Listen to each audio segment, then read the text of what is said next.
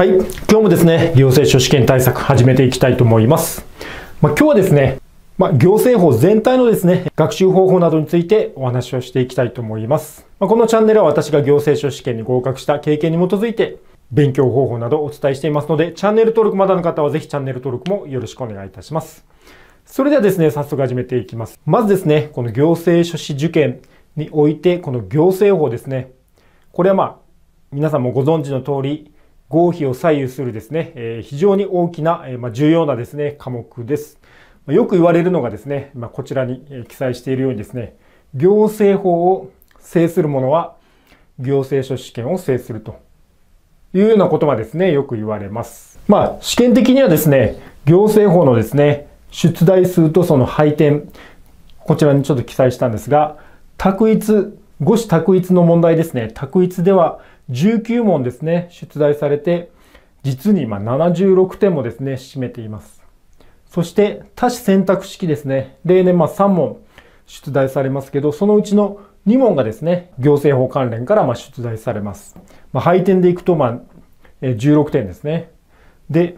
記述式ですね。記述式も、ま例年3問中ですね、1問はこの行政法から出題されて、えー、配点でいくと20点ですね。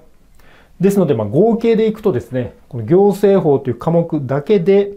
この112点を占めているということになります。まあ、この出題数、それから配点のウエイトから見てもですね、この行政法の重要性というのが、えお分かりになるかなと思います。で、行政法ですね、どのような科目が出題されるかというところなんですが、まあ、主にですね、この行政法総論、それから行政手続き法、行政不服審査法、そして、え行政事件訴訟法、そしてこちらに記載していませんが、まあ、地方自治法、それから、え国家賠償、損失保障といったようなですね、え科目からま出題がされます。で今回ですね、ちょっとこの行政法総論、それから手続き法、不服審査法、事件訴訟法というですね、この4つをちょっと記載していますが、まあ、行政法ですね、受験生の多くの方は苦手意識持たれている方多いんじゃないかなと思います。実は私もですね、受験するときそうでした。というのも、憲法とか民法はまだですね、どちらかというと今まで少し勉強したりとか、もしくは民法でしたら日常生活に関わることで比較的自分のま身近なものとして捉えて勉強することができるんですけど、この行政法というのはですね、行政活動の手続きであったり、ルールであったりということがですね、中心になっていますので、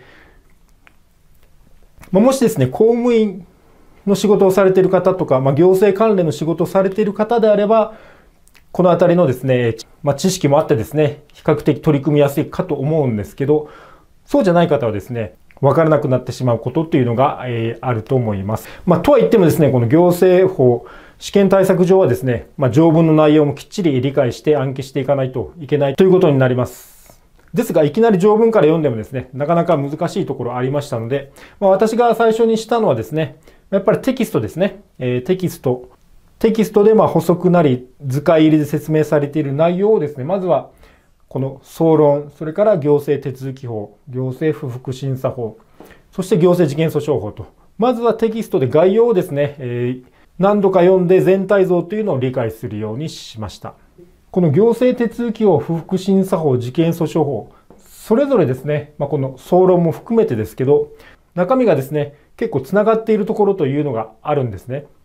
ですので、行政不服審査法をですね、きちんと理解しようと思えば、やはりですね、この行政手続き法とか、行政事件訴訟の方も理解してないといけないですし、同じくですね、事件、行政事件訴訟法、これですね、きちんと理解しようとすると、手続き法であったり、不服審査法もきちんと理解しておく必要というのが出てきます。ですので、まずはですね、最初に全体像ですね、まあ、横断的に、まあ、最初の総論も含めてですね、中身を確認していくと。